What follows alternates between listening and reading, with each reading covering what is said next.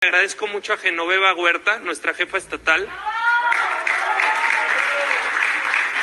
Logramos en Puebla, una de las ciudades más importantes que ganamos, ponernos de acuerdo entre los diferentes y ganar contundentemente Puebla y toda la zona metropolitana. Pero hicimos un proyecto en donde cabían todos, en donde no estaba el favorito de nadie, en donde no todo el mundo se sentía perfectamente contento, pero donde todos estaban integrados.